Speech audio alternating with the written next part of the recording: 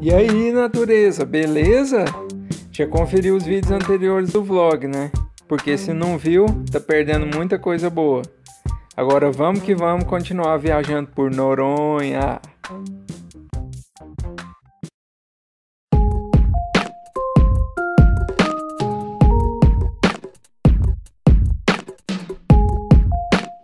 Como eu disse no vídeo anterior, acho que esse foi o melhor dia que passei em Noronha. Simplesmente inesquecível. E depois de tantas emoções vividas na primeira parte do dia, a tarde veio para surpreender ainda mais. Essas fotos aí são do mergulho de cilindro na Praia do Porto. Mergulhamos com a empresa Mar de Noronha do Bodão. E como eu fiz no vídeo anterior com os mergulhos embarcados, vou mostrar aqui só fotos, porque eu fiz um vídeo exclusivo só para falar sobre os mergulhos e as diferenças entre o mergulho do porto e o embarcado. Lá nesse vídeo tem muitas imagens e explicações, vale a pena conferir. O que eu posso adiantar aqui é que o mergulho no porto foi incrível, surpreendente superou em muito nossas expectativas. Vimos muita vida marinha, vários tipos de peixes lindos e diferentes, tartarugas, arraias, estrela do mar e etc. E o cenário do naufrágio é massa demais. Foi muito bom. Depois dos mergulhos, pegamos nosso bug alugado e subimos pela primeira vez para a capelinha de São Pedro dos Pescadores, para curtirmos mais um pôr do sol.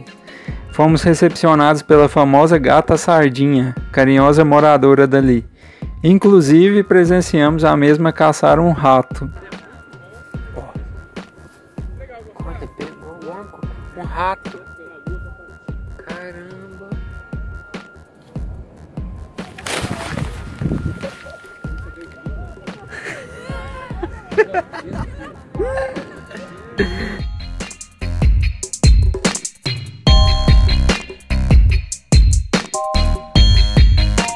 Antes do sol começar a se pôr, eu fui no Mirante dos Tubarões, ali atrás da capelinha. Um lugar lindo de onde dá para ver vários tubarões na maré baixa. Como eu ainda não tinha visto nenhum, fiquei de cara com o tamanho daqueles bichos. Não achei eles muito grandes, eu pensava que eram menores. Nessas imagens aí dá para ver um pouquinho, estava ventando muito, por isso não dá para ver tão bem.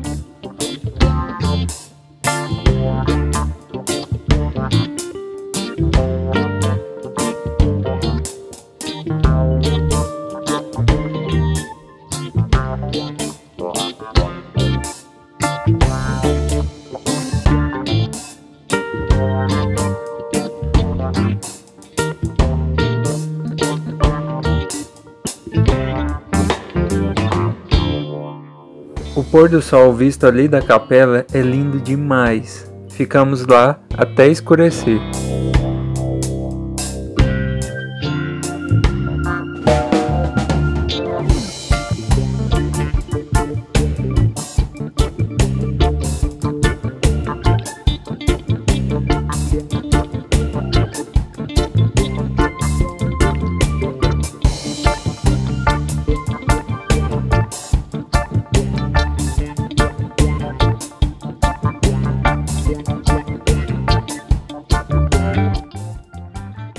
Na hora de ir embora, uma surpresa. O bug de repente parou de funcionar, do nada. Tentamos de todo jeito fazer ele pegar e nada.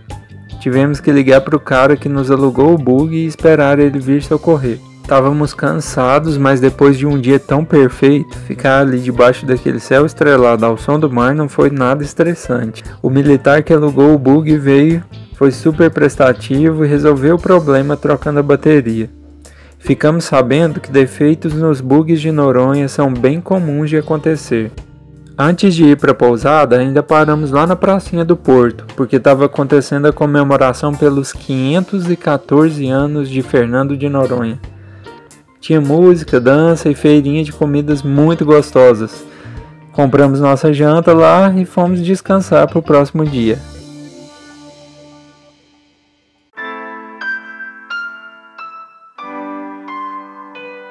Hoje foi dia de madrugar em Noronha. Saímos da pousada ainda escuro para curtir o nascer do sol na capelinha de São Pedro. Mais um espetáculo da natureza. A lua ainda estava no céu e o sol nascendo. Apesar da cara de sono, valeu muito a pena.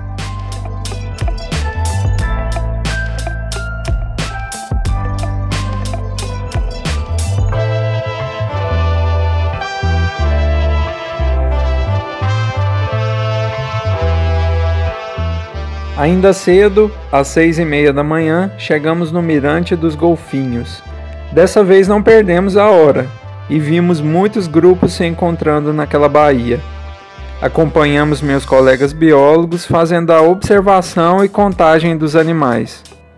E só pela paisagem já vale a pena estar ali. Imagina ver então o show dos golfinhos, com vários saltos e acrobacias. É de encher a alma.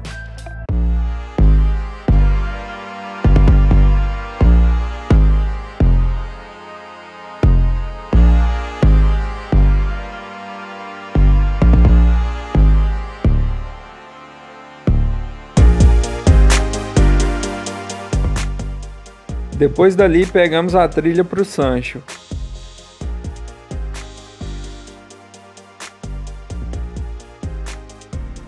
Vamos lá, estamos fazendo a trilha do Sancho. Para chegar na praia mais bonita do mundo, tem suas dificuldades, mas é que a gente está fazendo um caminho um pouco diferente. Que a gente acabou de sair da Baía dos Golfinhos, do mirante onde a gente conseguiu visualizar muitos golfinhos rotadores. Coisa mais linda do mundo.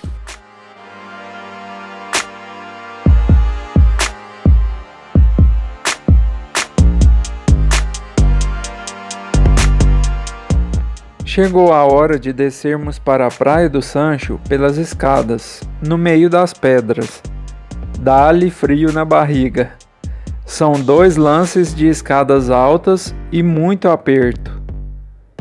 Depois das escadas de ferro, ainda tem uma grande trilha com escadas nas pedras. É, chegar na praia mais linda do mundo por terra é um certo desafio.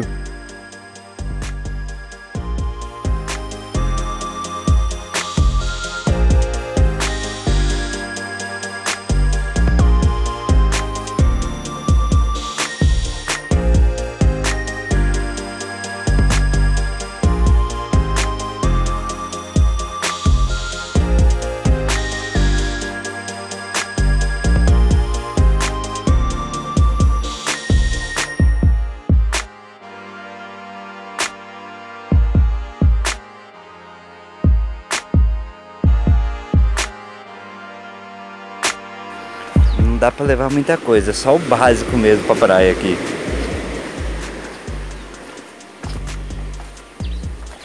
E claro, vem com calçado antiderrapante, chinela havaianas ou outro tipo de chinelo aqui, eu acredito que não rola, que é muito perigoso, porque tem muita areia na, na escada, pode acontecer um acidente. Ó. Procure essas sapatilhas de neoprene.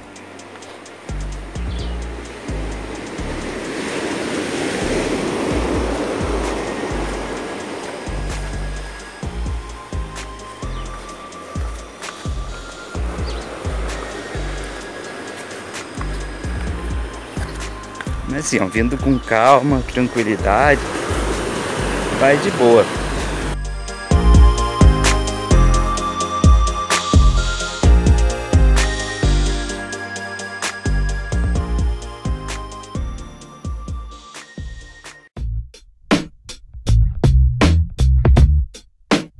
Ficamos aproveitando a praia mais bonita do mundo, fazendo mergulho com snorkel. Mergulhamos nas duas laterais da praia e a água super clara permitia longas visões.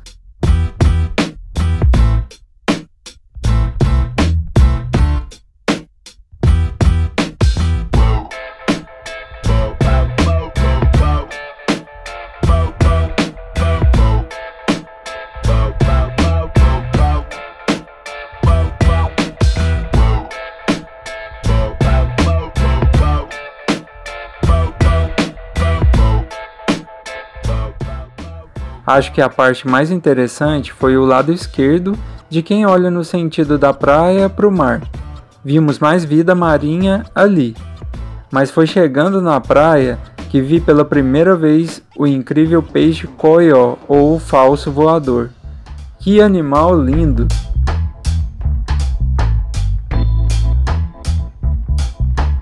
Depois de cansar de tanto mergulhar, fomos encarar a volta pelas escadas.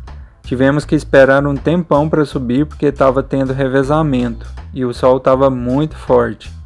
Saindo dali, fomos almoçar no restaurante Chica da Silva, comida deliciosa. Após o almoço, devolvemos o bug lá no aeroporto e o militar nos levou de volta para a Vila dos Remédios. Mais tarde, depois de descansar um pouco na pousada, fomos para a Praia do Cachorro conhecer o famoso Buraco do Galego. Confesso que ficamos um pouco decepcionados. Ele é muito pequeno, tinham muitas pessoas ali, principalmente moradores locais, e a água estava turva. Nem chegamos a entrar. Seguimos para o Forte de Nossa Senhora dos Remédios para assistir mais um pôr do sol em Noronha.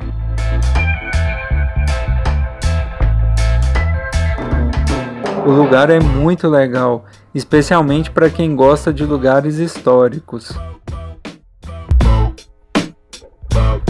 Sem dúvida, é um lugar imperdível de Noronha. Vale muito a pena.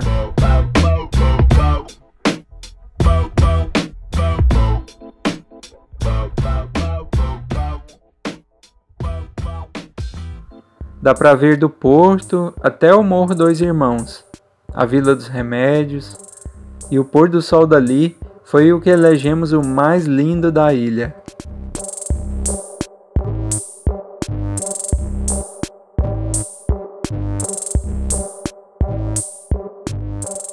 Agora é hora de descansar.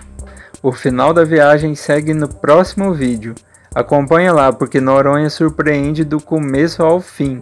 Até mais!